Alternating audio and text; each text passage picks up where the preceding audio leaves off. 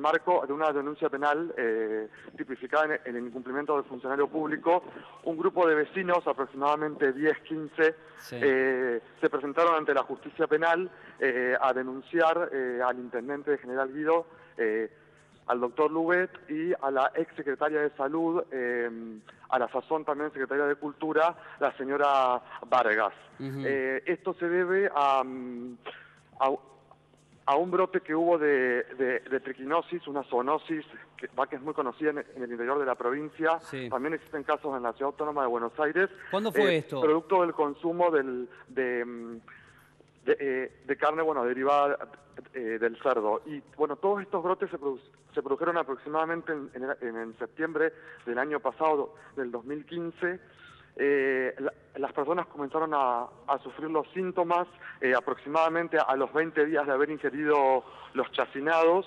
Eh, se, realizaron todos los controles de rutina y, todos los análisis que, dice el protocolo en la, sala de primeros auxilios de, General Guido, pero la municipalidad siempre estuvo reticente a entregar los resultados de esos análisis.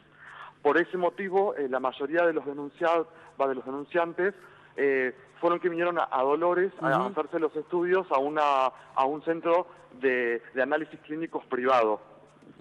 Eh, ahí descubrieron que, padecían de perquinosis y es por eso que, que vienen a, denunciar al intendente y a la secretaria y a la ex secretaria porque entendemos que no se cumplieron todos los los, los recaudos de rito y de protocolo que, claro. Eh, marca el Ministerio de Salud y la Secretaría de Asuntos Agrarios de la provincia.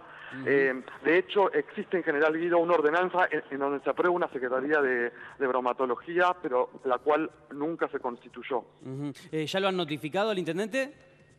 Y mire, lo que hizo el fiscal, el, la denuncia tramita ante la unión de, ante la unidad de, de funcional de instrucción número 2 de acá del, del Departamento Judicial de Dolores. Lo que sí ha, eh, hecho el fiscal ha, procedido a, oficiar a la municipalidad y a la sala de primeros auxilios para que adjunten a la, a la, instrucción penal preparatoria toda la documentación que tiene que ver con, los análisis clínicos que se realizaron en el municipio y que fueron y, que no le fueron entregados a, los ciudadanos.